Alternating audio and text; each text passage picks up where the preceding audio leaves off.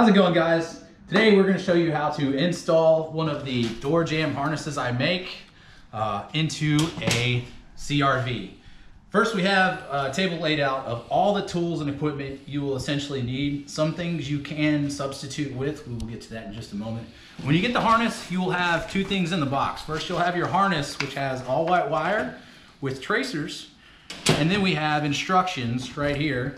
They're gonna go through both the driver side how they're oriented, the, the passenger side, and the replacement door jamb.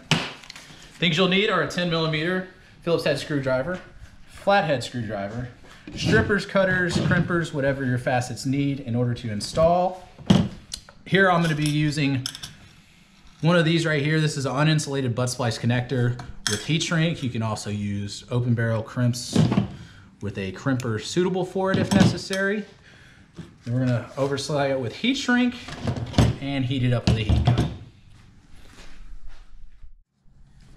First we'll start, we're gonna have to open the hood. In order to access the fender area, we're gonna have to take off a few things. First, you're gonna have to take off the center grill. It uses a uh, flathead screwdriver here to pop off, and then you'll have five, one, two, three, four, and then a fifth Phillips head screw.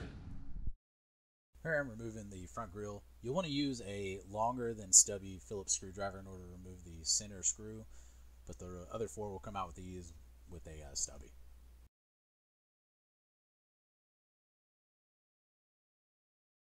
Here it is using a standard size Phillips screwdriver to remove the final screw and pulling the grill off. Next we're going to remove the front bumper. The front bumper consists of five push pins on top we have two 10 millimeter bolts down low, two Phillips head screws on the side, and then two screws right here as well. So I am removing the push pins off the top of the bumper. If you have a push pin puller, I recommend it. I just used a flathead. That's what I had available to me. Now we're removing the 10 millimeter bolts on the bottom of the bumper and we're about to remove the two two pieces of hardware on the corner of the fender. It is a little bit of a difficult to, spot to get to. If you have a stubby, it typically works a little bit better. And also, you may end up having to cock the wheel left and right in order to get get get in the spot. Also, don't forget in the front corner there is the two Phillips head screws that need to be removed. Here I am removing the front bumper. I try to pull off uh, both sides next to the fender and get it outside the uh, fender area and then it should snap right off. Next we're going to be removing the side skirt which consists of seven push pins as well as two screws. They'll slide off and we'll be good to go. Alright here I am removing the side skirt. The push pins are a little old, they're a little brittle probably going to crack them. Just take your time. I use the flathead screwdriver, usually pop them off. I did break a few. I do recommend replacing them. But yeah, it's just uh, the nature of the beast. Here I am removing the side skirt. I've got all the screws out. All I'm trying to do is wiggle it back and forth and eventually I will be able to push it forward and it'll come out. Next we're going to remove the fender. The fender has eight 10 millimeter bolts we'll need to remove. We have two right here, three up top, two, two down here, up one, and then inside the door two, and our final one right here. Also not stated, it may be a little bit easier to remove the headlamp. There's three 10 millimeter bolts holding it in place. And the fender well liner, I recommend keeping that attached to the fender itself, there's a couple push pins and a couple screws that hold it on to the chassis. All right, so now that we have access here, we're gonna pull the boot from the connector. You can see that there's green dots right there. Those green dots are essentially like uh, a button on your pants. You're gonna get it around those green dots and you'll be able to pull it off. You can also push right here to disconnect. So if you take your flathead right there, pops right off. What we're going to do is we're going to remove the split loom casing and slide that back as far as possible. It uses, they use electric tape on it, and the electric tape's quite old. So you're just going to have to remove the electric tape for it. And slide this out and push it back.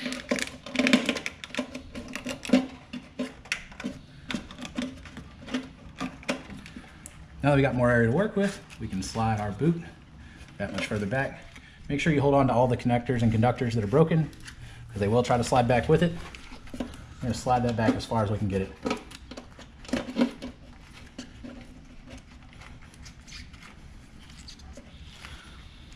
Next thing I'm gonna do, which I didn't show earlier, I did bring zip ties. What we're gonna do is we're gonna zip tie this as far out of the way as possible in order to prevent it from getting in our way and hindering us. All right, so now that we got that out of the way, we can start, we can disconnect this. This uses the flathead too.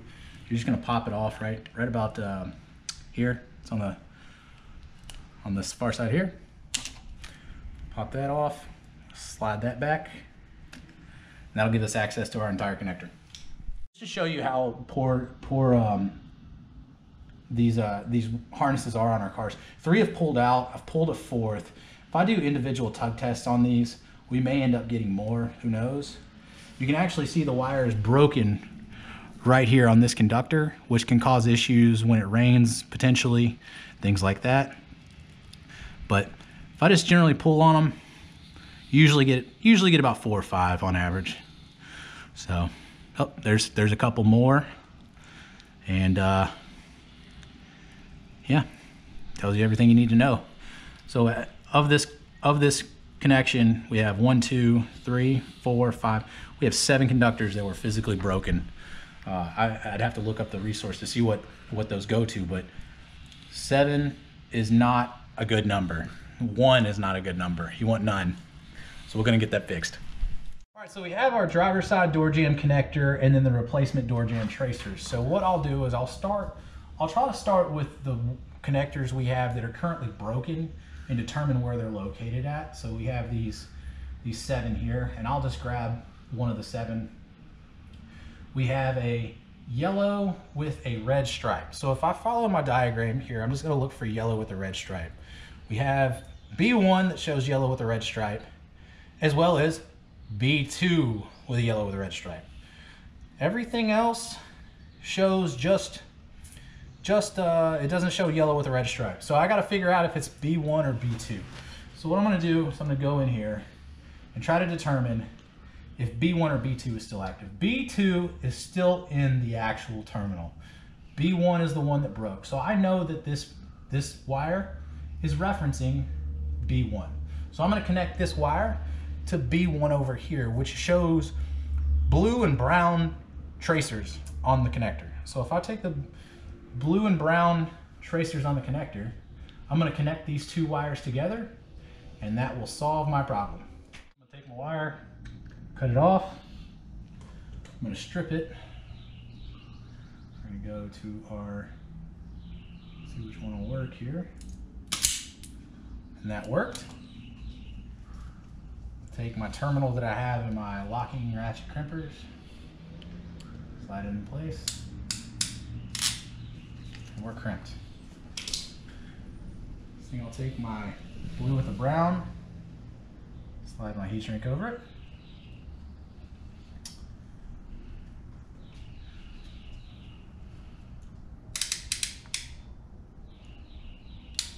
Set my crimpers up.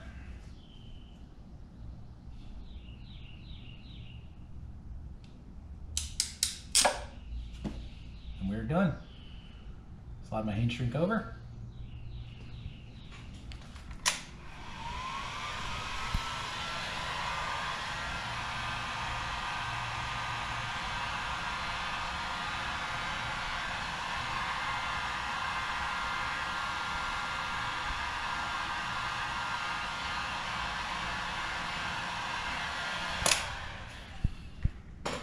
I'm gonna follow this pattern until I'm complete the harness. So we got we got all our wires done. I haven't I haven't uh, troubleshoot tested them yet, but we're gonna test them real quick to see if our uh, all our wires work, and then from there, that's we'll be done. We'll put everything back on.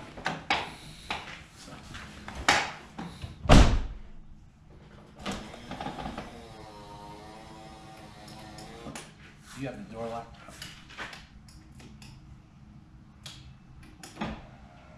was already down.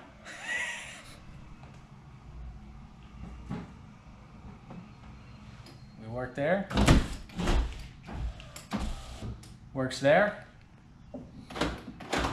Works there.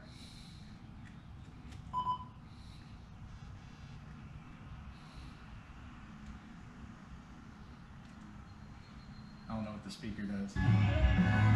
Speakers work. Check the mirrors.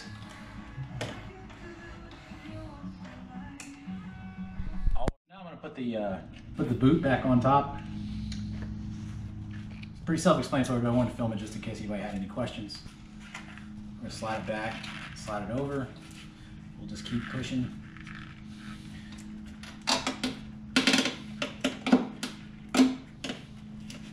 Just keep on sliding. So I took the, these, these actually separate. It was easier for me to do that. Electric tape tried to give me a little uh, grief. But we're gonna put the connector back on with the green cap over top. Slide this back on. There's only one way it'll go. Gonna be plugged to the top. There we go. S- Snap it back in place.